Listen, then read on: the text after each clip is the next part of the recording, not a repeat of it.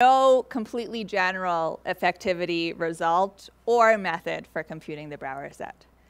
So we can do it in practice, but this is a very, very different situation than David Harvey's lecture series. So he's trying to really optimize the running time and the complexity and getting in deep to like how far you can push these algorithms. This is a fundamentally different situation. We're just trying to see, okay, how do we do this? Can we do it in an example? What, um, yeah. Like, can I throw all of my knowledge and ideas and, and do it in this case? Rather, can I like, as the LMFDB people say, can I push a button and run it for like, I don't even know what orders of magnitude examples. So that, that's a different situation. Um, than I'm going to be talking about. So let me just say, so I said here completely general, so that we do have two effectivity results that I describe more in the notes. Uh, they're both by Kresch and Tschinkel. So in one, they show that a larger subset, the algebraic Brauer-Manin subset, which I'll define in a minute, is effectively computable. And in the second one, effectivity for surfaces they show almost that for surfaces, the Brauer-Manin set coming from the n torsion in the Brauer group is effectively computable for any given n. So we do have some results, um, but again, these are also, these are really effectivity results, not algorithms with complexity analysis. So it's still fairly different flavor than this morning. Okay. So we don't have a completely general method, but we do have sort of, I don't know, an approach slash procedure that people usually do. And as you'll see, there's parts of it that's like, okay, that's all you're telling me. What do I go from here? And the answer is like, yes, exactly. Where do we go from there? that's that is what is um, making it so that it's that it's not completely effective. Okay, so before we get into computing the Brauer set, so the Brauer set was defined as the set of adelic points orthogonal to every element in the Brauer group. So first we want to look at um, just understanding or computing the Brauer group. Uh-oh. Okay, there we go. So first thing just to note, um, so I might have said this, but it's not apparent from the definition I gave you, but it is true that the Brauer group of X is a torsion abelian group. So we're not trying to figure out very complicated group structure. We're not dealing with trying to understand what normal subgroups are or anything. It's very simple group structure, um, but uh, as you'll see, it still can be hard to compute. Okay, so the way we often begin on trying to compute the Brauer group is by subdividing it into different filtrations. So Brauer 0 of x typically denotes the image of the pullbacks from the Brauer group of k to the Brauer group of x. Okay, so these are in the lecture notes. You don't have to like super get them in your head, but let me just remark. So we have x, x is living over k. So we have this structure morphism from x to spec k, and so then we have a map in the other direction. And so these are the ones, these are the ones that you think that they're, they don't come from x, they come from k, right? They're not telling you anything about the geometry of x. They're, they're constant, they're sort of like there and you have to deal with them, but they're not really telling you what's going on with x. So you should think of these, yeah, as not as important.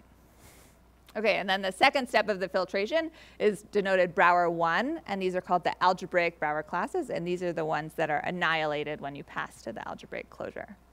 So the algebraic Brauer-Manin set, these are the ones that are uh, slightly easier to compute.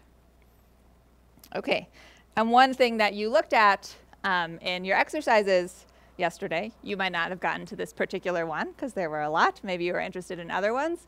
But uh, you can prove that these constant classes, they cannot obstruct any adelic points. And this should fit with the intuition that they're not seeing anything about x. So why should they be able to tell us anything about the points on x? Right? They really just come from k. They're already there. So, and so you know, so, and then you can also prove that so the Brauer set depends only on this quotient. That actually you only need representatives for the quotient Brauer mod Brauer 0. So really when I talk about computing the Brauer group from the point of view from the Brauer-Monod obstruction, and also just the point of view of like what is the part that's related to x, we really only care about the quotient, Brauer mod Brauer 0. Okay, so I will try to say Brauer quotient over and over again instead of Brauer group, but I predict that I will fail often. Uh, so you can ask if it's unclear, um, but you should also just think where everything is about the Brauer quotient. Okay. Questions? Yes?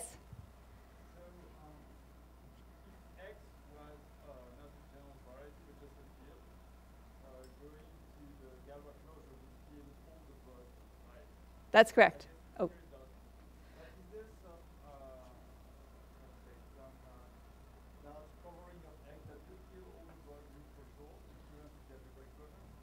Okay, so the question was, if X was a field, then passing to the algebraic closure would just kill everything. So Brauer would just be equal to Brauer 1, and in fact equal to Brauer 0. But okay, but the important part was equal to Brauer 1.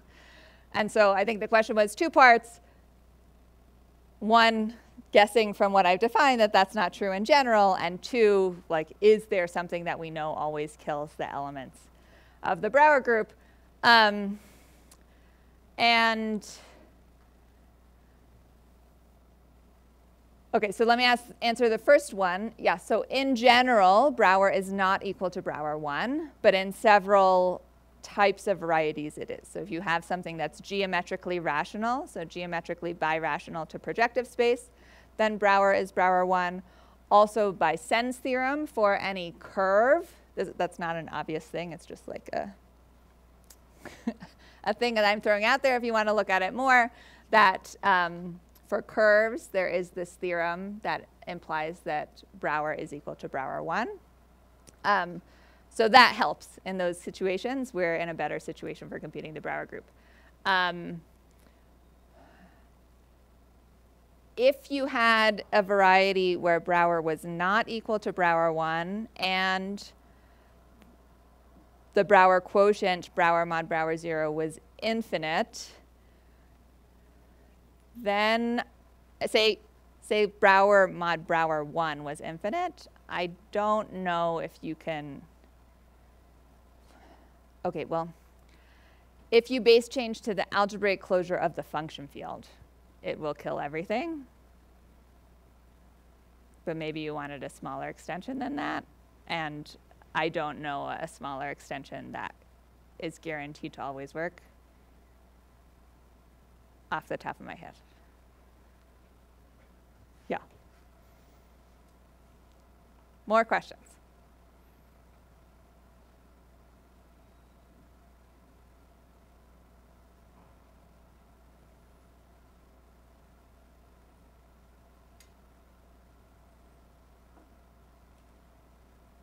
I really want to get the questions going again, so if you ask a question, you are doing me a favor.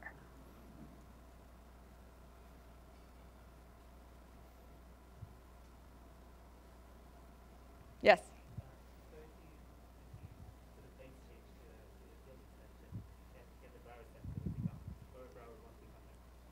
Uh, that is a, a great question. So, okay, so the question was, if you base change to a field extension, can Brauer 1 become like as small as possible? So yeah, so Brauer 1 always contains Brauer 0. So if you base change to a, a number, like a larger number field, it won't be trivial, but it, um, so when Brauer 1 mod Brauer 0 is finite, there is always a finite extension that trivializes Brauer. Wait, no, am I saying this correctly? Okay. under an assumption, which I will mention later, which implies that Brauer 1 mod Brauer 0 will be finite, then there is always a finite extension of your base field that trivializes the trivializes that Brauer 1. Yeah. But um, lots of times Brauer 1 mod Brauer 0 can be enormous and infinite. And so for like for abelian varieties and for curves, there is no finite extension that will ever make Brauer 1 uh, as small as possible. Great, thank you. Anyone else? Yes? Yes, each piece in Brauer 1 still dies in a finite extension. That's right. Okay, the question was, does each piece of Brauer 1 die in a finite extension? And the answer is yes. Okay, I'll pause again shortly so you can keep thinking. Okay, so really we're interested in computing Brauer mod Brauer 0, and just by definition, we have this um, nice exact sequence where we have Brauer 1 mod Brauer 0 injecting, and then we surject onto Brauer mod Brauer x. So normally we think of dividing those two pieces. And then, uh, as I explain in slightly more, but not too much detail in the notes, from a spectral sequence, you get um, some exact sequences or isomorphisms for these quotients that relate it to the Galois cohomology of pic x bar. So particularly if um, x bar is finitely generated and torsion free, then this Galois cohomology group is fairly computable. Assuming you have generators for pic x bar, then you can then you can compute this H1. Okay, this part is much harder to compute. And that's just the way it is. So you could work on making a, yeah, understanding this exact sequence better from a computational point of view. Right now, uh, I think this have, hasn't been leveraged so much for computational purposes, only for theoretical ones. Okay, so that's, that's the approach. And as I said, you may feel very underwhelmed by this approach um, because it doesn't, it's far from an algorithm. You're still left with computing these cohomology groups. You're left with computing pic x bar. Okay, we have, yeah, some effectivity results for different pieces, but that's that's what you have. Okay, but sometimes you get lucky and you can sort of guess an element in the Brauer group and verify that it is actually an element in the Brauer group. And I outline one of these um, one of these approaches in uh, in the exercises. So sometimes you get lucky, or maybe you're in a situation where someone else has already worked out these Galois cohomology, now you have the elements of the Brauer group. How do we go from there and, and compute the Brauer set? So assuming we've computed this quotient, how do we compute this Brauer set? And so uh, let me just put this up here to have it. So this is the set of adelic points such that the sum of the invariance of alpha, okay, what did, how did I denote it? I think PV upper star of alpha is zero for all alpha. Okay, and as someone asked yesterday, there were a lot of questions yesterday about, about this map. So does the pullback depend on alpha? Does it depend on x? How do we compute it? What do we have to know about it? And I said, yes, you have to know all those things. it's hard to compute in general. So this is what we have to figure out. And just, I think I introduced this notation. I often want to think of this as a map from the adelic points to the Brauer group that depends on alpha. So I'm going to call this map ev alpha from x of kv to q mod z. I guess really this should be like ev alpha sub v, but the v will hopefully be clear from context. Okay, so we know some things that are helpful. So we know this evaluation map is always locally constant.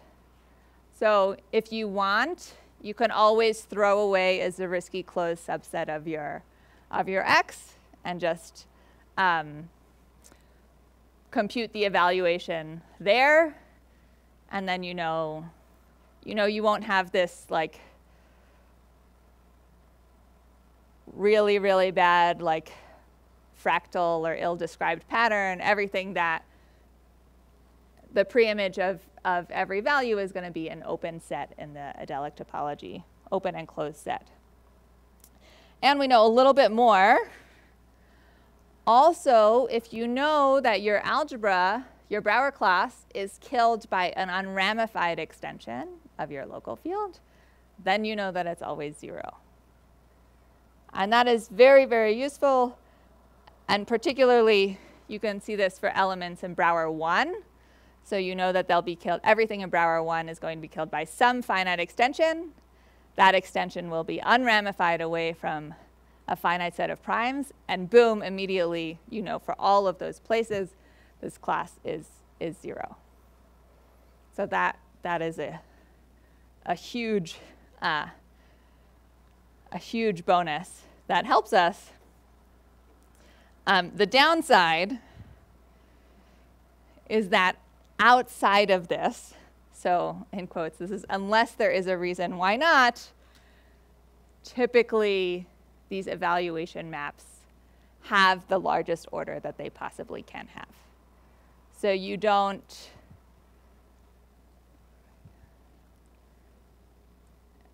you don't usually just get lucky and like it's constant everywhere. Okay, so some of you who um, maybe have read a little bit about Brauer-Ramanan obstructions uh, previously, or maybe you're doing research in this area, or you decided that you were going to do the, the last big problem on the problem set exercises yesterday, you might be thinking like, hey, but we just did this problem and it was constant everywhere. It was always constant. It just like I worked out and I only had to check at one point and it was it was super easy. that's that's because we made it that way, okay? The examples that you see in the literature are examples that are rigged to be easier to handle. So in the literature, they are often constant all the time. And from looking at that, you could be like, oh yeah, no problem. I'm just going to check this one point and see what's happening. But that is not, not what happens uh, in general, unfortunately. So just don't, don't be led astray. Okay, so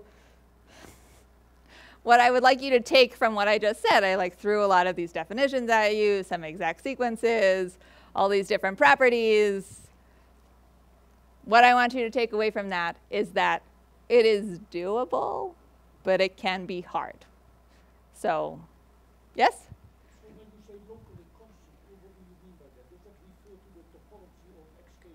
Yes, through the local topology, through the v-adic topology on XKV. Sorry? Yes. Oh, yes, thank you. the question was, what does uh, locally constant mean for the v-adic points, and is it um, the same as it being continuous? And so locally, I mean locally for the v-adic topology. So if you haven't seen this before, each x you can cover um, by affine covering, so you can think of the different pieces as sitting in kv to the n, which inherits uh, the product topology and the topology from kv, and so that gives you this v-adic topology on x of kv. And it's like the only thing that you could think of doing if you look at, at some points. Um, and because q mod z is discrete, and actually for each alpha, it's going to map to a finite group, um, that's the same as saying this map is continuous. Okay. So what I want to do is um, what I want to do for the rest of the talk is talk a little bit about this theme that I mentioned on the first day, like how do these theoretical and computational pieces interplay and can we can we try to bypass this somehow? Okay, so what I want to just think about right now is, um, yeah, so why is this, why is computing uh, the Brauer-Monod obstruction difficult, sort of on a, on a heuristic level? Okay, so the way that I think about this is the, the no free lunch principle.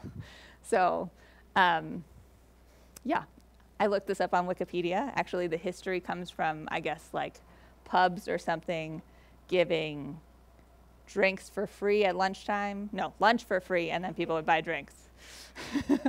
um, yeah, and you just have to pay somewhere.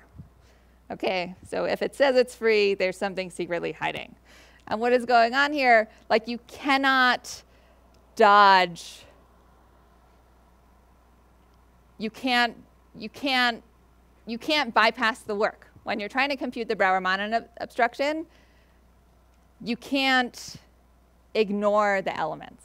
So that would be getting something for free that you can like just throw away some elements to worry about. These Brauer classes, sometimes it feels like their like purpose in life is to obstruct adelic points. They just like, if they can, that's what they're going to do. So uh, what I said is obviously not a theorem, but let me show you some theorems that illustrate this. So the, the, the bigger principle is unless there is a reason otherwise, you should expect x of ak, the set of adelic points orthogonal to alpha, to be strictly smaller than the set of adelic points. You should expect it to carve out some subset. So we already saw some reasons otherwise, right? So elements in Brauer 0 elements that come from Brauer group of K, they don't, they don't obstruct adelic points. But that's because they're not about X, right? That's why.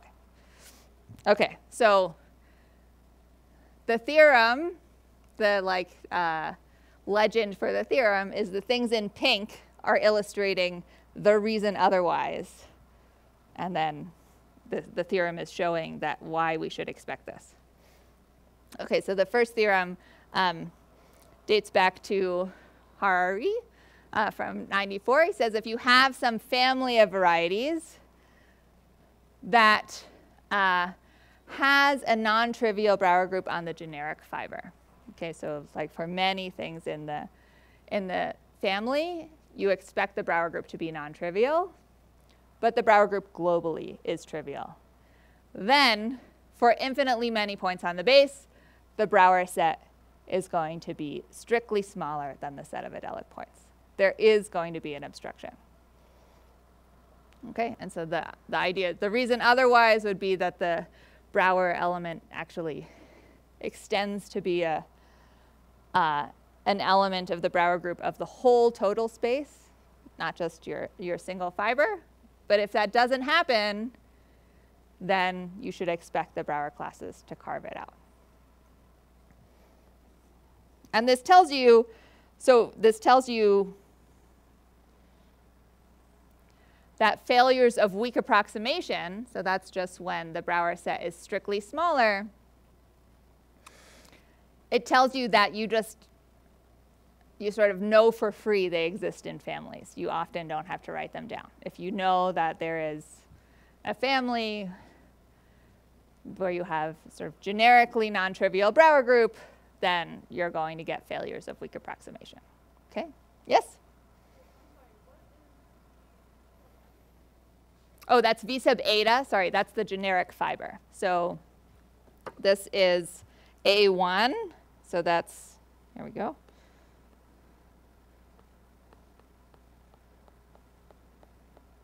So A1 is spec of the polynomial ring. So I could just view this as a fiber uh, thing over the function field, over some bigger field. So now uh, rational function field in a single variable. So this is my eta. And this v sub eta goes there. So you could think of this, say you have your v could be a family of elliptic curves over the j line. And say you have a Brauer class. Say I wrote down a quaternion algebra that was like 5 comma function divided by j minus 1728. Okay, so that would give me a well-defined function, probably a Brauer class. But when j is 1728, there's that function vanishes in the denominator, that won't extend. So that would be an example of a Brauer class that you have generically, but doesn't extend over the whole family. So it's like you have some, and the reason why you want it to not over, extend over the whole family, well, you need some condition because you need to rule out things that just come from Brauer K, right? There's no condition here. I don't have any quotients here, so I have to, I have to somehow throw out these elements because we already know that they don't do anything. But if my algebra just came from the ground field, it would just extend over the whole, the whole total space, the whole family of elliptic curves over the J line.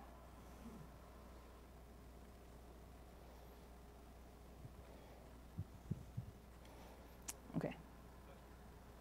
Okay, here and then there. Go ahead.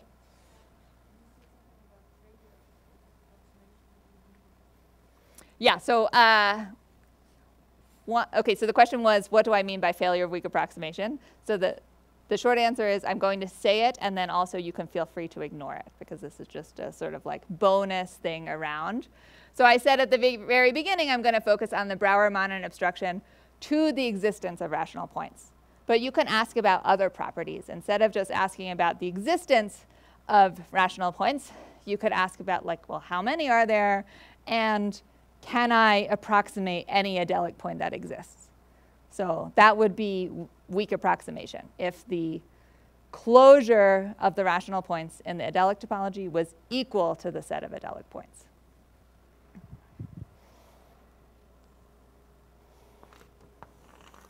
Okay, so WA is weak approximation. So if this is the closure in the adelic topology, equals the set of adelic points.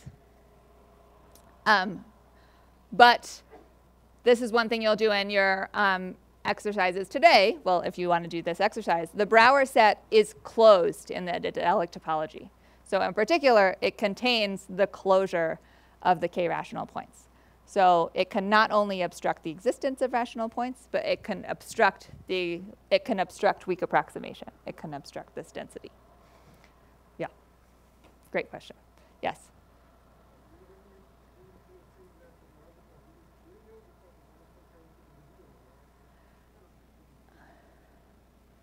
Yeah, okay, so he writes something yeah, that's right. So by trivial I mean that it's equal to the that it's equal to Brauer or not.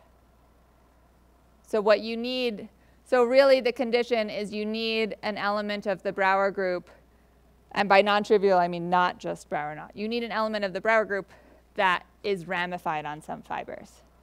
Um, but I didn't want to define ramification. so I tried to translate the theorem statement. Uh, yeah, but so by trivial and non-trivial, I mean equal to Brauer not and not equal to Brauer not. Yes?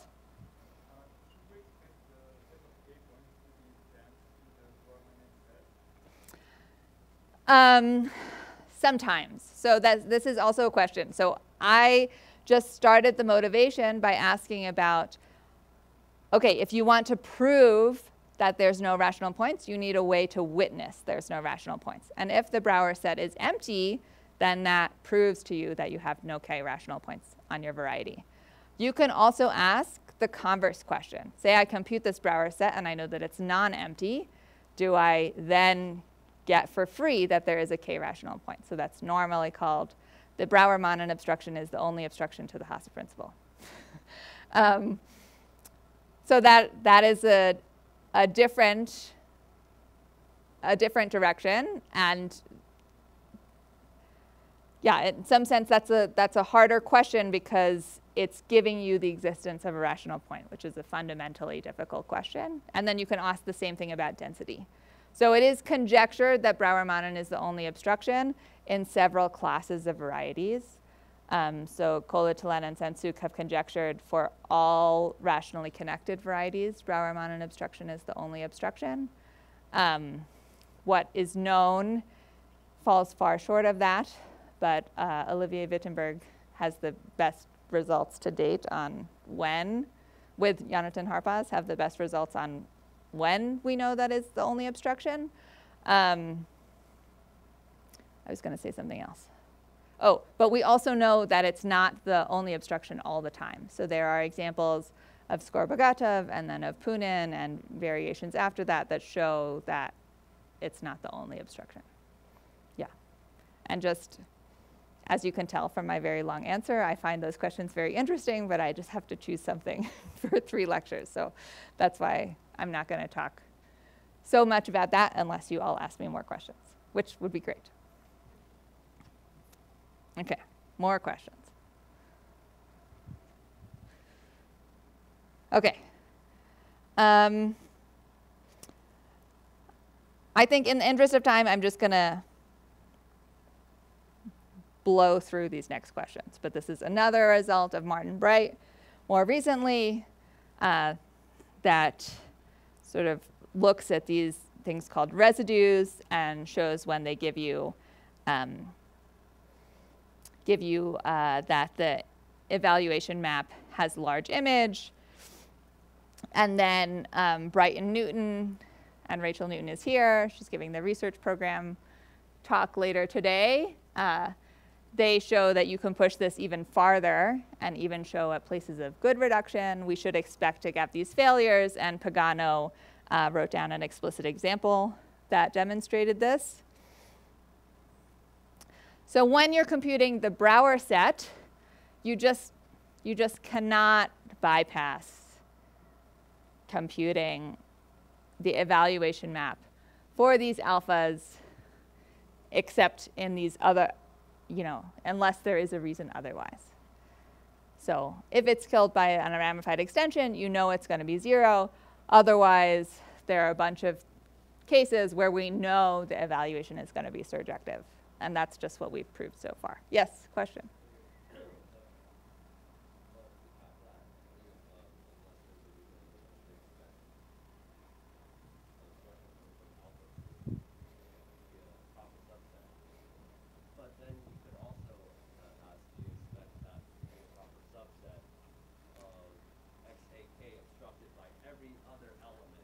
That's right.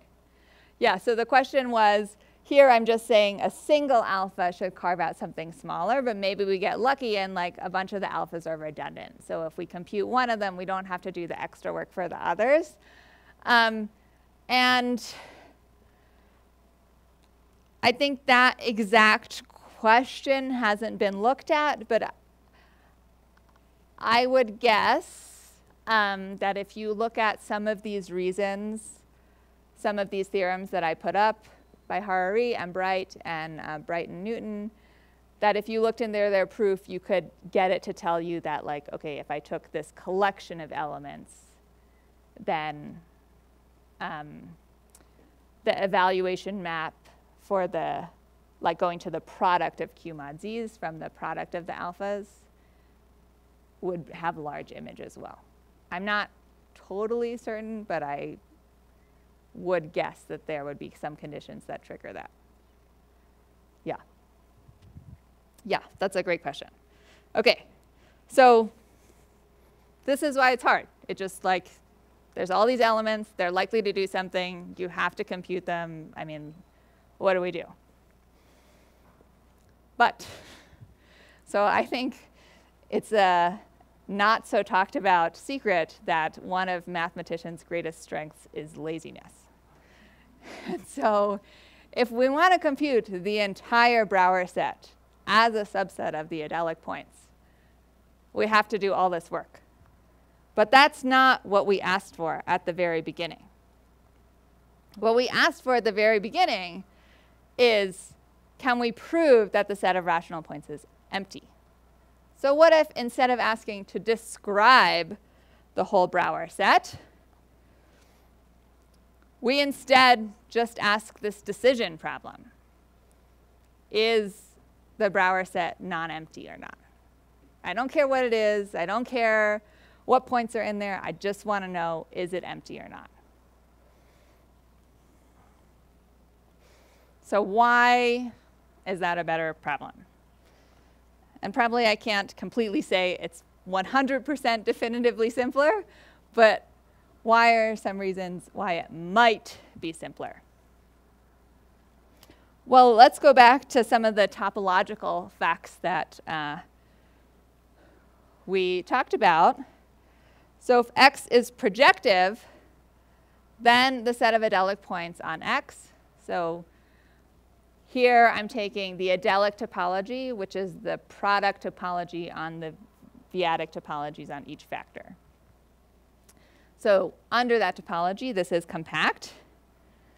And then that tells you, so any compact um, set, if you have an empty intersection, it can be realized as a finite intersection, finite empty intersection.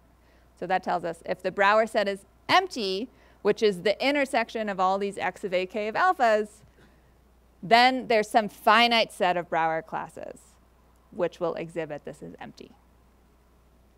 Okay, and so there are some cases where this is definitely already better. So um, if you have a, an elliptic curve with finitely many points, assuming Tate the Tate-Shafarevich group is finite, then the Brauer set is the closure of the set of rational points. And since you have a finite set of points, the closure is just the finite set of points. And to cut down the set of adelic points to a finite set, a finite non-empty set, you have to use infinitely many elements.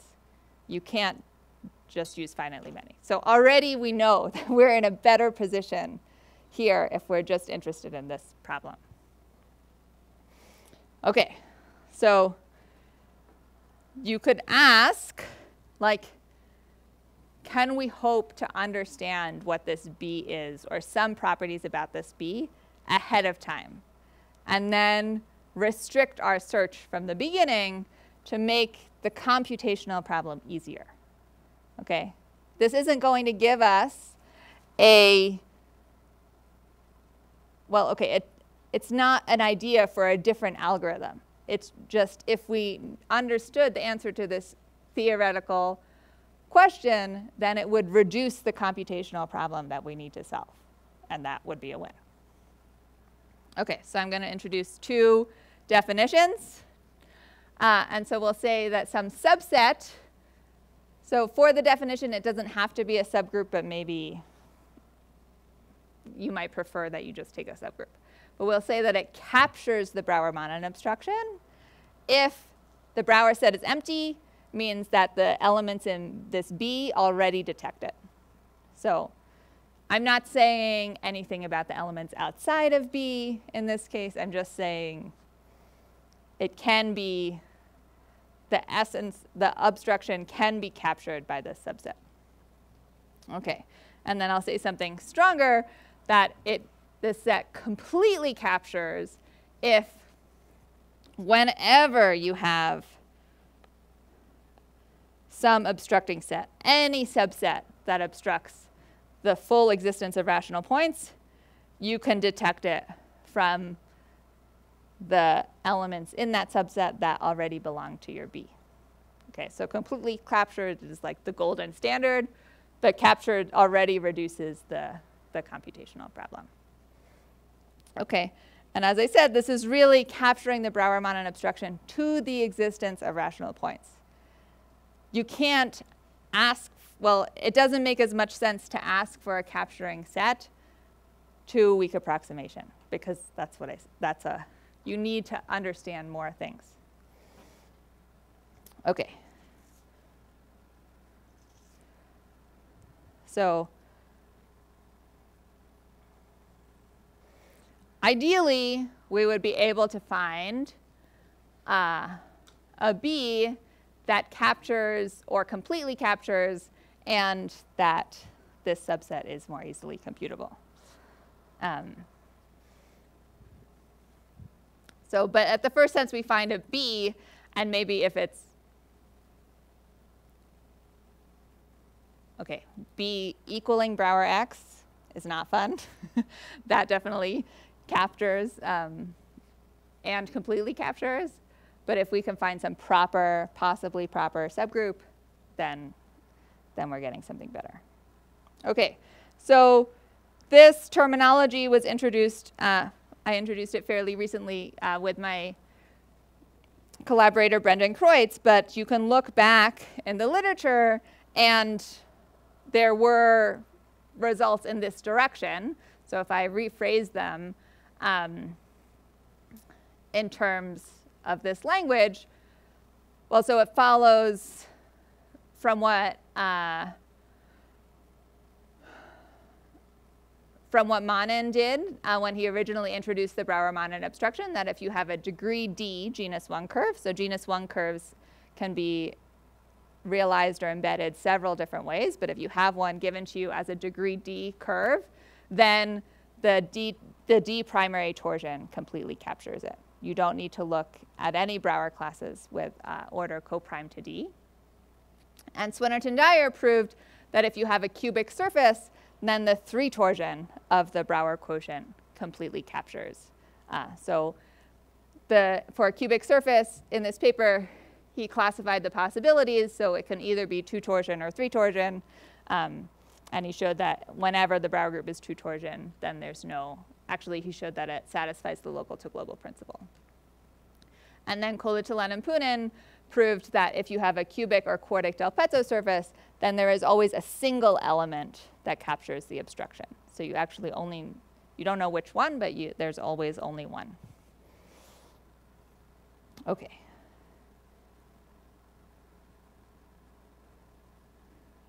Okay, and so let me just say like one thing that's slightly difficult about thinking about this or what you might want to prove is you want something that you can describe ahead of time, that is sort of intrinsically described.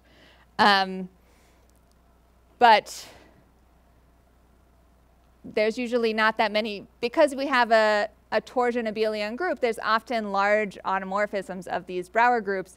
So there's not like really a way to pick out a single element. So for instance, the Brauer, in a cubic surface case, the Brauer quotient is one of these five possibilities. Okay, and so what we can say is that the three torsion completely captures it, and there's a three torsion element that, that captures it on its own. But you can't hope to say anything more about which element it is because there's, there's sort of like before you start computing, there's no way to distinguish what the different elements are. So we couldn't even like hope to say something stronger. Um, because how do you, how do you tell apart the different elements in z mod 3 squared? Okay. I am I want to leave more time for questions, so maybe I'll just skip um, some of the things about like how you might directly compute the end torsion, uh, and we'll just go to some of the more recent results that show what we have.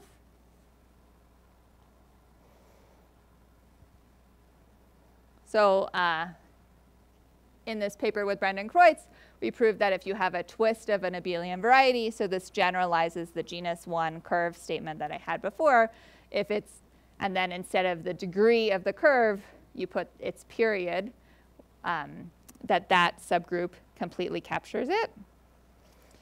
So this is just, should just be taken as an illustration of what we know. Why is it? Okay. Okay, and then we know for Kummer varieties, which are closely related to abelian varieties, they're desingularizations of a quotient of a twist of an abelian variety. But anyway, it's something that's related to an abelian variety and it's related by a, uh, a two primary cover. So in that case, then Skorobogatov showed that the two primary subgroup completely captures it. So um, that's very strong. And then Masahiro Nakahara uh, proved, and all of these, I put publication dates, but really like all of these papers came out right around the same time, that if you take a fibration of twists of abelian varieties, so you could take a family of genus 1 curves, or you could take a higher dimensional family, then the period of the generic fiber, that torsion, um, completely captures the Brauer-Manin obstruction. So this tells you already from the beginning um, what, what primary order you have to look in, and particularly in the case of when you have all these abelian varieties flying around, abelian varieties have torsion in, in the Brauer group of every order, and the n primary torsion is always infinite. So restricting the torsion there, what, which orders you're looking at, that's really a, a strong statement. Okay. Oh, and one more. Uh, so this is a subgroup. Okay, something is going on with my remote. But this is a subgroup I didn't mention. it's usually denoted by a Cyrillic B. It means the locally constant algebra. So these are um, Brauer classes that when you um, base change to KV, they land in Brauer zero. So they become locally trivial. So for these, actually, once you know them, then computing the um, evaluation maps is easy because you only need to evaluate at a single point. So this is, this is really great. And so uh, Creutz showed that if, if you have a twist of an abelian variety, then the locally constant subgroup completely captures. And so then actually you can take the intersection of the first two of the first result and the second result, and it tells you the locally constant algebras of order, uh, a power of the period, they, they completely capture. Okay, so that's the good. The bad. so we would like this, I mean, yeah, we saw all these results. We're like, wow, maybe this holds like all the time. Like what? And uh, so I feel like there's something missing from my slide. Oh yeah, here. So in uh, joint work with Creutz and Felipe Voloch, we tried to look at this question for curves of higher genus. And basically, like the paper is just a series of counterexamples that show like many things that like any possible statement that you might hope for generalizing from the previous slide doesn't work for curves. So, I mean, maybe there's a different way to do it or like that these, these subgroups that capture should depend on more than the genus and the degree or in some subtle way, but we could not figure out how to do it. So I think it's, it's, it's hard particularly when you go to general type varieties, it could be hard to get a handle on, on these things. Okay, and um, yeah, I'll just, I'll just put up one, one slide. So I have a bunch of open questions. I forget from David Harvey's things. Maybe these are like single lightning bolts that are open, but he hasn't thought very hard about them. Am I remembering correctly? So that's what these these are for. So I'll post the slides on the website. We won't get to look at um, all of them, but I think there's a few other cases that seem tractable um, that you could ask to what, to what extent this behavior extends. Um, yeah, so I will just go to my summary slide and end there. Okay.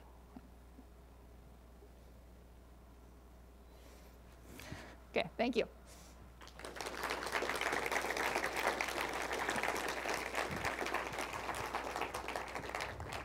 Are there more questions for Bianca? Yes. Yep.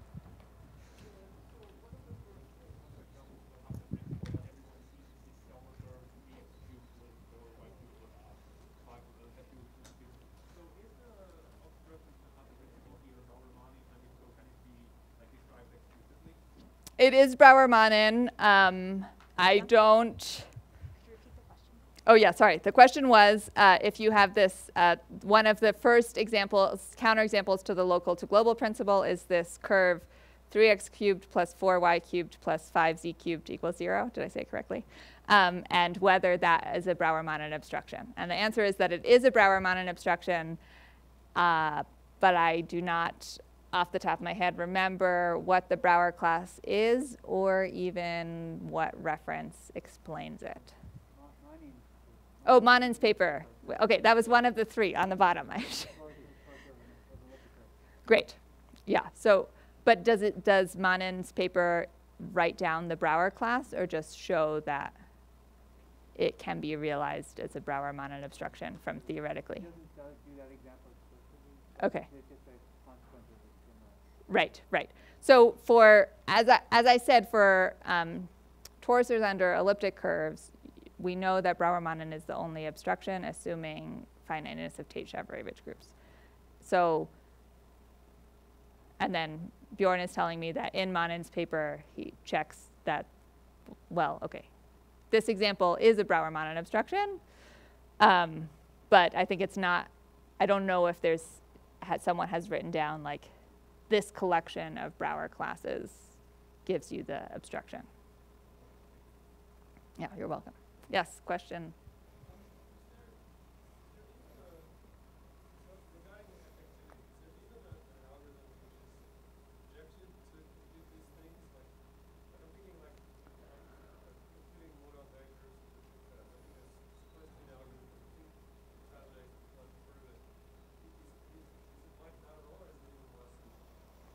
So the question was, is there an algorithm that's conjecture, but we don't know that it terminates, but it's conjecture that it terminates for computing Brauer groups or Brauer-Manin obstructions? Um, I don't think there is. I mean, to my, it's possible that maybe like something alluding to this is in the effectivity papers that I mentioned by Kresch and Tschinkel, but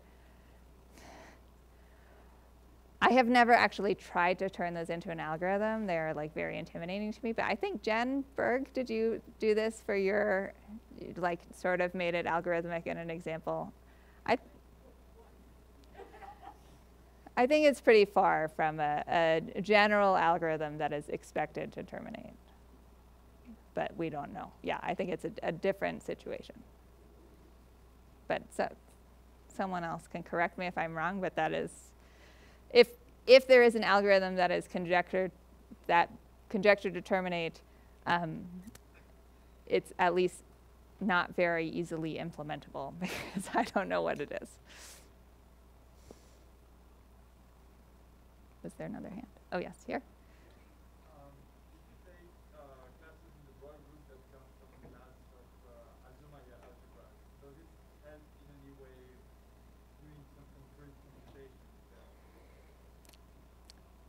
So the question was, if I take a Brauer class that comes from an Azumaya algebra, does it help in any way to do any concrete computations? So for me, when I computed it, the best way, like the, the, the way that I typically do is I realize, try to realize the Brauer class as a central simple algebra over the function field. Um, I guess if you knew that you had it already as something that like that honestly lives over all of x. So that might be a benefit for an Azumaya algebra. Um, then you can really sort of evaluate. You just take the fiber at any local point to do the evaluation. Whereas if you're given a representative over the Brauer, uh, as a central simple algebra over the function field, there are necessarily going to be, there's necessarily like a Zariski closed subset where you can't evaluate. But since it's locally constant, that doesn't cause a problem, but I think that would be the advantage for using a, a more global object.